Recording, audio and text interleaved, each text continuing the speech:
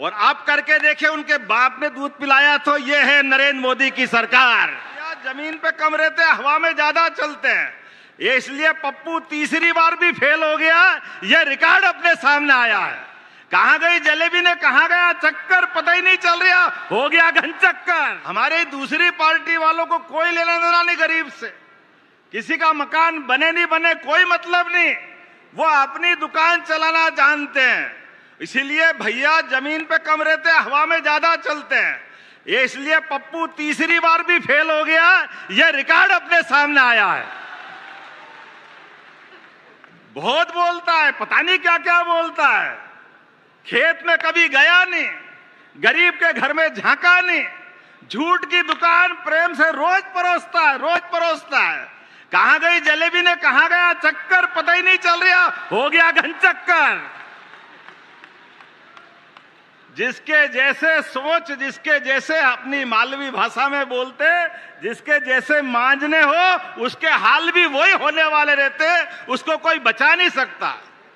और वो तो ऐसी फूटी नाव में बैठे हैं कि जो नाव अपने मार्ग को तय करने के पहले ही नर्मदा मैया की कृपा से थोड़ी बहुत बच रही है, लेकिन नर्मदा भी कब तक बचाए? माँ कह रही, भैया, छेद तो बंद कर ले।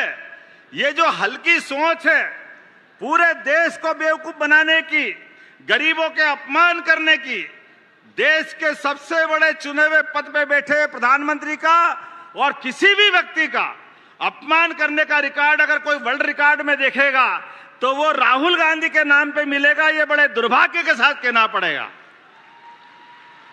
एक ऐसा व्यक्ति जो किसी को भी कुछ बोल दे और उनको छूटे, कोई उनको रोकने वाला नहीं, कोई उनको टोकने वाला नहीं ऐसी कांग्रेस और ऐसी कांग्रेस पार्टी जो अपने प्रधानमंत्री के कैबिनेट के निर्णय को सबके बीच कागज़ फाड़ करके चिंदे उड़ा के फेंक दे।